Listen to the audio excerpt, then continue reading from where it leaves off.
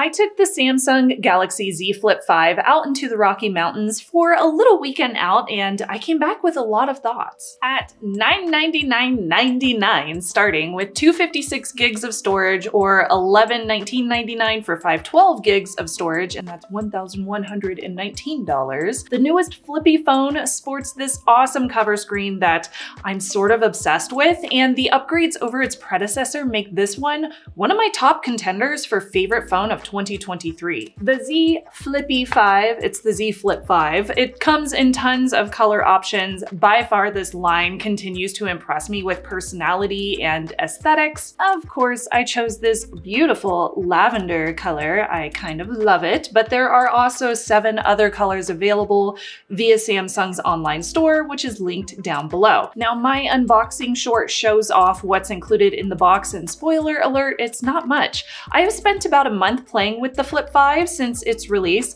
I've definitely put it through its paces in all sorts of different environments around here in Colorado. Now that my little baby is updated to One UI 5.1.1, it is time to spill the tea on this little smartphone. By the way, a huge thank you for subscribing via all of my newest videos on this channel. I see you and I appreciate you. She cute, she's small. Form factor wise, we've got a plastic folding display Gorilla Glass Victus 2 on the back, and there is an aluminum frame. The frame is very shiny, as you can see here, just like on the Fold 5, and no major changes to ports or button placements compared to the older flip models. Now at time of recording, I haven't put a case on it yet, and so far she still looks really nice and fresh and brand spanking new. It is a slippery phone though. It's very shiny and very slippery, so I would probably add a case just so it stops slipping off the armrest of my couch. This is IPX8, which hallelujah, because I was running around a mountain town in the rain. If you watch my Fold 5 review, the new hinge, which is located on the Flip 5 as well, is very similar. It is re-engineered, giving you that nice, satisfying snap shut and it's very, very smooth movement whenever you open or close it. I love how it shuts flat. This new hinge is such a baller upgrade, and not only can it protect your screen better because it is giving you that nice flat shut, but it just looks so dang good. But really though, this new iteration of the Flip is kind of a big deal because this new big cover display. It's called the Flex Window. Instead of that little Tootsie Roll sized screen that we had on the older models on the front, this one actually gives you something that you can, you can more easily view. Now, while it's still not big enough to do major tasks, like I couldn't do any like productivity tasks on the front of this thing, which yes, you can still type on it. It's big enough that you can type on it. You can access a lot more on here. So you can access things like Google Maps or YouTube. You can access a few more via a Labs feature, which is built into the phone. Or you can add even more via Good Lock's MultiStar. Now, if you want a whole hacks and pro tips video about different things that you can put on the front of the screen on the Flip 5, comment down below. I could definitely do a video all about all the cool stuff that you can do with this. And I have to say, it does make a huge difference to the usability of this device. I find that I am much more inclined as a user to use the Flip 5 versus the older models. Like I used to have a Flip 3 and a Flip 2, I wanna say. It is plenty bright for outdoor use. I used it to track my hike in the mountains. I just pulled up AllTrails and I was good to go. And it is really quick with intuitive gestures and nice little interface features. Like there's this little pill icon showing you your playing entertainment in the bottom that you can click into. The only thing that I think would make it better is if it didn't have such large bezels around the edges. Those are pretty hefty bezels. Make the screen bump out so that it shares a similar width to the folding display on the interior and push out the bottom so that the two cameras, which are located down here at the bottom, end up just being punch holes instead of this large notch. I mean, Razer did it, so I think that possibility totally exists. Okay, enough about the exterior of this phone. Let's move inward to the folding display. This is a narrow device, but it is not as narrow as the Fold 5's cover display. It looks tall, but it's close to the height of the S23 Ultra by just like two millimeters, so it's very, very close in height.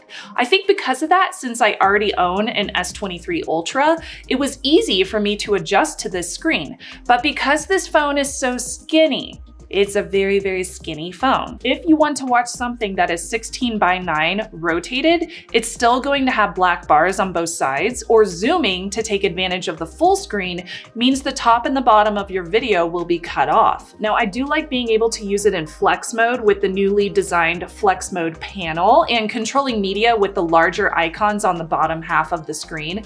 This does not work well with every single app, but it is useful for things like YouTube. The stereo speakers sound down average for a phone, they are lacking bass, they are clear enough for podcasts and vocals. But this is a very fast phone with the Snapdragon 8 Gen 2 chipset, 8 gigs of RAM. I do have some benchmarks here to share. I did a whole bunch in 3DMark. I can tell from the intuitiveness of this phone that Samsung has been spending a lot of time fine-tuning how usable the flip and the fold lines are, and that includes the processing power and the graphical abilities. So even though vanilla Android setup setups are my number one. They are my Ichiban. One UI works so well here to the point that I don't actually hate it. I customize my phone so I can use things like Google Assistant instead of Bixby, so I do do my own customizations there. I think the fingerprint sensor which is found as a capacitive button. It's in the power button right here. It makes sense given how you will naturally hold this phone whenever it's closed. You can put your finger right there and hit that capacitive button. Now, my personal favorite is still going to be the ultrasonic fingerprint sensors because they are faster, but for the form factor, this one actually does make sense. I don't think an ultrasonic one would make sense in this form factor. Face unlock is also available, but I do find the fingerprint sensor to be more reliable. Now, since we're talking about security, the sponsor of this video is Delete Me. If you have noticed an influx in spam in your email inbox or scammers calling you on your cell phone number, well, it could be because these scammers found your email address or your phone number via an online data broker. Data brokers, they love scraping your data from all over the internet and making it easily searchable to the public. And since there are hundreds of these sites, it makes it incredibly time consuming to figure out how to get your data removed and from each site. Ain't nobody got time for that. So Delete Me offers a service where they will continually, every single quarter, monitor these sites for your data and send those opt-out requests for you. Because sometimes those data brokers put put your data back up there after you've sent an opt-out, so you have to keep on checking. They add new data brokers to their service all the time. I have some new ones on my own report that I can show you too, so you don't need to worry about finding them yourself. I've actually paid for Delete Me for several years now, and it has offered me a huge weight off my shoulders. It has saved me so much time. I actually pulled up my account here on my Flip 5 so I can show you what my dashboard looks like. So here's my actual dashboard from my Delete Me account. Up at the top, it shows you how many data brokers they're looking at, how many listings they actually reviewed, which don't necessarily match me, but it could have some similarities. So maybe there's other Shannon Morses out there. I don't know. Data brokers with my information 32, and then you get some nice little tallies showing you exactly where your data was found and how much of each percentage was found. So in my case, I think I should sign up my family members for Delete Me. There's a lot of data on them out there. With Delete Me, you also get this really handy PDF, and this shows you exactly which data brokers had your information and how long it takes to remove your data, if the removal is in process, and if there were any data brokers where your data was not found, it'll show you this nice little clean with a little happy face. So there's a ton of data brokers here that did not have any of my info or any matching queries for my information. And then there were several this quarter that were new or that just had refreshed information. So Delete Me is going through and deleting that information for me. It's pretty cool. So huge thank you to Delete Me for sponsoring this episode. You can use the code SNUBS, that's S-N-U-B-S, for 20% off and see how Delete Me can help you take your online privacy to the next level. You can hit up joindeleteme.com slash Morse code to sign up today. Again, that is joindeleteme.com slash Morse code, and I will put that link down below so it's easily clickable. So it takes about 30 minutes minutes to get up to 50% charge with a supported 25 watt wired charger. It can also do 15 watt charging wirelessly. It can also do battery share with 4.5 watts of reverse wireless charging as well.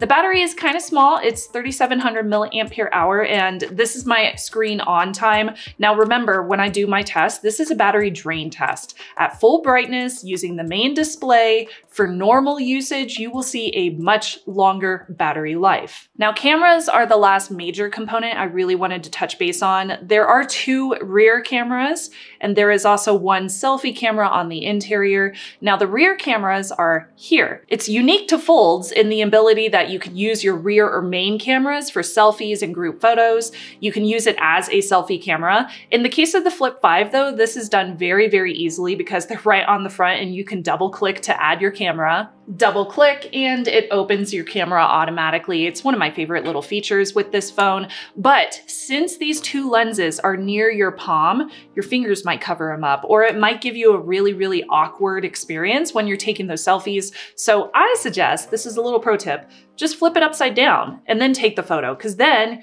your cameras are going to be at the top.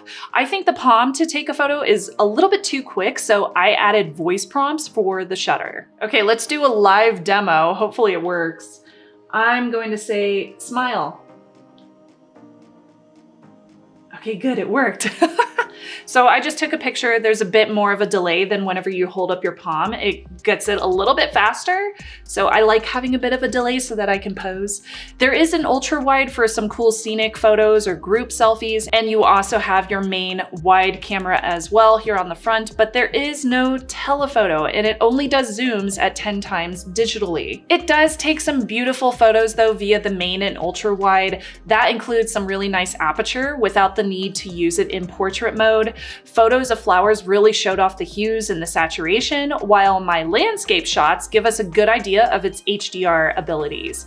But some of my photos in the bright sun felt kind of washed out, and they lack that saturation that I am so familiar with from Samsung phones. One of my photos from this test on the Flip 5 was also voted as a finalist for a chance to be featured on Condé Nast Traveler, so that's pretty cool. Now the punch hole camera on the folding display, which is on the interior here is better than the Fold 5's UDC or under display camera. So if you are planning to do video calls, this will give you a better image. The importance of having a good selfie camera is definitely a hill that I will gladly die on. There are a lot of folks in this world who will not take the additional steps to use rear-facing cameras for selfies. They are content creators or they need a decent camera for video conferencing. And having an optimal camera on the interior of your folding or flipping screen on a $1,000 plus smartphone should just be standard. Now, I also recorded a whole bunch of videos for you to check out, the audio and the stabilization, so let's take a look. Beautiful flowers. Testing the stabilization as we walk around a very dirty and bumpy area of Anderson's farm. This is such a lovely place. Look at these beautiful flowers. They're so pretty. Wow, look at it. Hello, here's the internal uh, folding screen camera lens.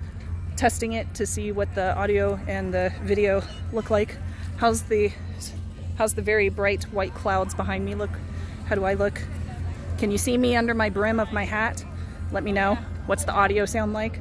Do you hear the music in the background? Hopefully not because it's copyrighted. It's cold up here. There's no air. Welcome to 14,000 feet. Whew.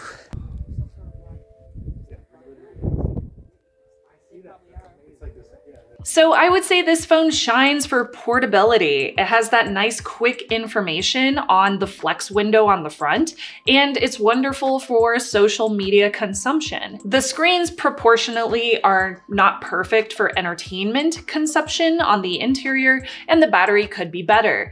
Neither of the Samsung foldables has cameras that match the quality of the S23 line, though in some cases you are paying more for the form factor. Do you like this form factor? Factor. I love this form factor. It feels like it is made for me and my smaller size hands. It just fits perfectly into my life. It is still missing those prosumer features that I use daily as a content creator, mainly the highest quality cameras, like no zoom, give me a zoom. But it is so fun to use. I think that any non-content creator would love this device, especially if you want something that is much smaller. And paying one grand MSRP versus the 2K that you would pay for a Fold 5 is a huge difference difference, especially if you factor in things like trade-ins, carrier deals, or holiday discounts. Obviously, I think the Fold 5 has a very different market niche, but this one is also a foldable, so that's something to really consider. Do you want to see a deeper dive, a comparison of this phone versus any other ones that are coming out this year? Definitely leave a comment down below and I will do my best to get those in for you. Thanks again so much for subscribing and to Delete Me for partnering. I'll see you next time. Bye y'all.